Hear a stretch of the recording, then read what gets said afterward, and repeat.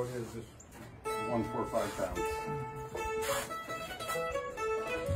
wait a minute, I gotta make sure I'm playing the right one.